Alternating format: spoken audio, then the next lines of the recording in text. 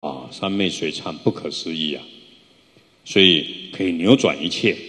所以慈悲三昧水忏里面说，经中说言，业报至时，这个业报来了，不是你躲在空中，躲在海中，不是你躲在山里面石石头里面，不管你躲在哪里，那不可能脱离不受报的。那怎么样可以不受报呢？唯有忏悔力，乃能得除灭。所以各位，你碰到痛苦来了，跪下来，南无阿弥陀佛，我忏悔，可以啊。你碰到业障来了，痛苦来了，逆境来了，你不要再怪老公啊，怪你的儿子啊，怪外界的一切，跪下来，南无大愿地藏王菩萨，我忏悔。然后呢，这个忏悔力量就可以让你超越。所以佛法最大的快乐。一切怪自己，不会怪别人，那你这样就不会忧郁症了。啊，那怪自己这个业业最大的力量就是可以铲除掉了。业报的本体也是空性，也没什么好在乎的。所以何以知然？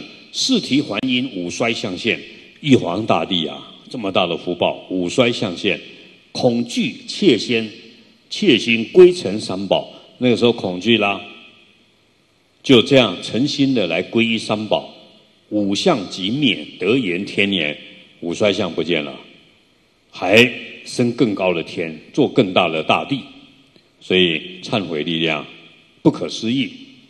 那后面又写了更多了，请翻到十二页，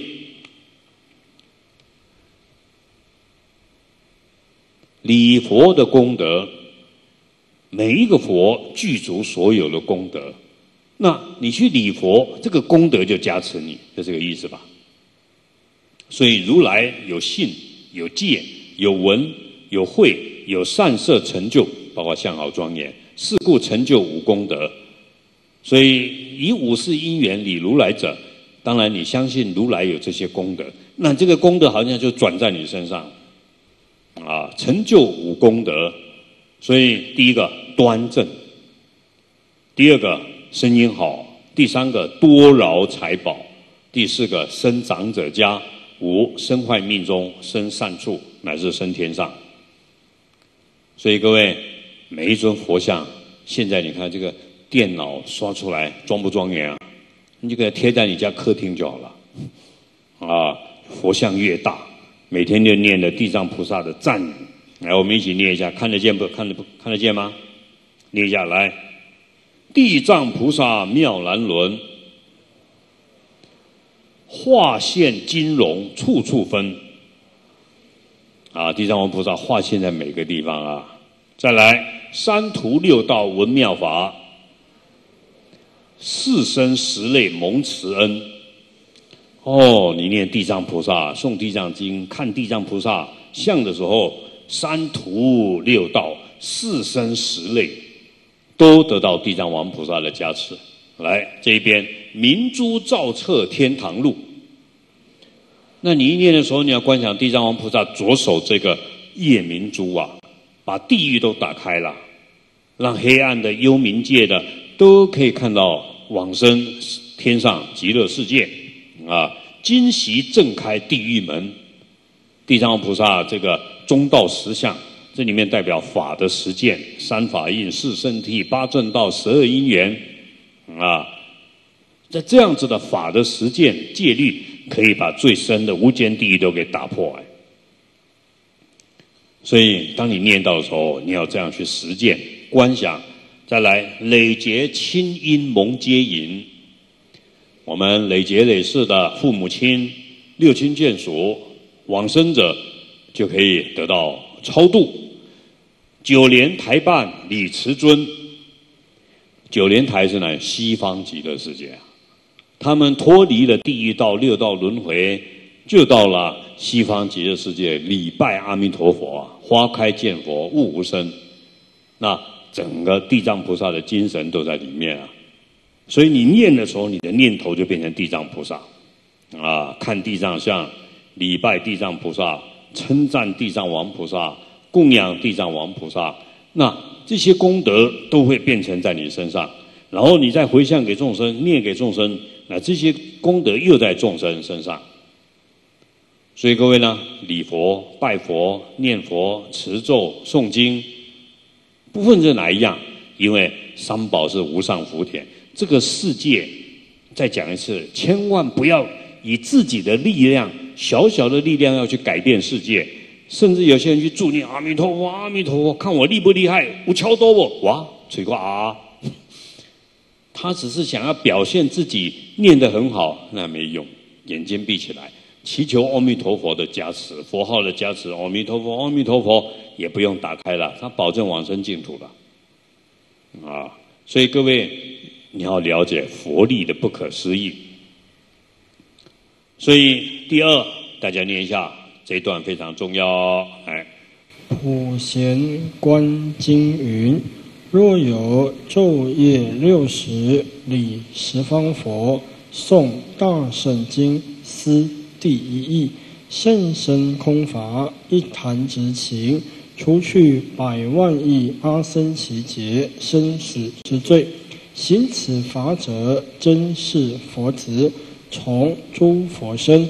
十方诸佛及诸菩萨为其和尚，是名具足菩萨戒者，不须结魔，自然成就，应受一切人天供养。整部普贤观经，各位最好很短都看一下。但这里面这个重点，如果有人白天三次，晚上三次。学弥勒菩萨这样礼拜十方佛，拜完以后呢，诵大乘经、般若心经、华严经，都可以。地藏经，思维第一义谛啊，真正的佛心是什么？所以，真正地藏的心是什么？阿弥陀佛的心是什么？不离空性的大悲心呢？这样去思维，甚深空法。一弹指间，金光明经空品，然后呢，你能够从缘起缘起啊，这个因缘关系缘起看到它的真正的本体空性，这个缘起甚深，这个甚深的空法，你能够看到去思维它，所以哪怕一短短的时间。就可以除去百万亿阿僧祇劫生死之罪啊！如果能够这样做了，才是真正的佛的弟子，佛的儿子，是从佛的心生出来的。所以各位，这里面重点啊，礼拜十方佛，读诵大乘经典，思维第一义谛，了解甚深空性，找到你的自信啊，找到佛性啊。那这样是真正的佛的儿子啊！你是佛的心子。从那个时候开始，十方诸佛及诸菩萨做你的和尚，是名具足菩萨戒者，不须结魔，自然成就。你只要这样去做，呃，不需要有人跟你证明呢。而且当下你代表佛，应受一切人天供养，重不重要啊？所以各位礼佛诵经。思维空性，啊，大乘佛教啊，要老实去做啊。所以我那时候我刚出家，我的剃度和尚不是剃度和尚，这个结魔和尚，慧天长老帮我，就是说做我们教授结魔，他每天两点半起床，起来拜华严经，思维华严经。我那个功德太大了。问他为什么要这样做？正华长老说：“哎呀，慧天长老是为你们呐，啊，这些刚出家了，大家读佛学院了。如果慧天长老以这样最最大的功德，为所有的学生这样来礼佛拜佛，思维空性，消除无量业障，让大家能够安心的修行，这个叫老实修行者。”但是我发觉，同样的，但是年轻人知识分子就不想这么做了，不用拜，我直接看经典就好了，我就直接来研究研究，高高低低的。他不像老和尚一字一拜，好好思维，啊，进入佛的甚深微妙，也进入自己的，把这个佛的这个教法进入他内心里面，成为他的生命的整体。这里面没有他自己的想法，所以得到了无量的功德。所以各位，我想如果有机会啊，每一部经典论哦，你都要好好好好的去看它，去了解，你就会觉得不可思议。请翻到十六页。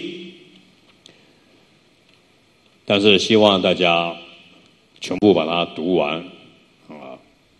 供佛的功德，念下一。阿毗昙甘露味经说：不食畜生可得百世福；不食不善人可得千世福；不食善人可得万世福；不食离恶欲凡夫可得千万世福。不施得道圣人，可得无数世福；不施诸佛菩萨，其福报无尽，唯佛能知。是以十方诸佛是第一福田，供养诸佛菩萨，功德最胜。所以各位常听我说，百千万亿黄金做世间布施，不如在佛前供一杯水的功德。因为佛是无上福田，第一福田。当然，如果能够用菩提心来做之前的布施，布施给畜生道，光以世间的想法布施给畜生道，就可以得一百世的福报了。一般人想说，那布施穷人就好啊。但是佛陀倒过来讲，穷人大家都会布施，这是很自然的。但是谁会给那些？老鹰啊，鱼啊，秃鹰啊，老鼠、蟑螂吃啊，这些野生动物啊，甚至我们现在都有护生员呐，那边有牛啊、羊啊，那各位可以去布施饲料给他们，布施给畜生道。各位家里前后面一定一大堆蚂蚁啊，你随时都可以修这个百世福。第二个，佛也提醒我，布施不善的人，一般我们都布施给好人，谁要布施给坏人？因为坏人大家讨厌的，但佛越坏的你要对他越好，才可以感化他。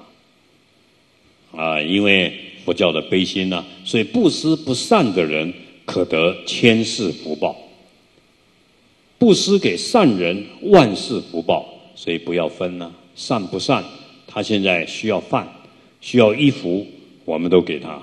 布施离恶欲凡夫，就像各位今天是离恶欲凡夫呢。今天所报万在界，没有不好的欲望，对不对？大家还过午不食，所以那中午有人供斋，等一下要供水啊，可得千万世福报。那布施得道圣人，出果二果三果阿罗汉果，甚至发菩提心，那不可思议了，可得无数世福报。所以今天我们供养色大切，平等心供养所有生切。那后面最主要告诉我们，何况布施诸佛菩萨。所以各位在家里贴一张观音菩萨，贴一张地藏王菩萨，我贴一张诸佛菩萨的像，甚至现在很简单，你在手机里面存档了，哎，到哪里就拜一下吧。手机打开，影像就出来了，供养一下。所以现在我们更简单，电视打开，参加法会，自己在前面供养水啊。现在微信更方便，啵啵啵，一百块就布施来了。哎，他也要参加共生法会等等。第二，八种供养：水、水、花香、灯、土、果、月，在佛前供养。所以各位最好啊，在家里供八杯水，代表水、水、花香、灯、土、果、月，或是真实的八种形象显现出来，那有。各种功德，再来，请大家翻到二十二页。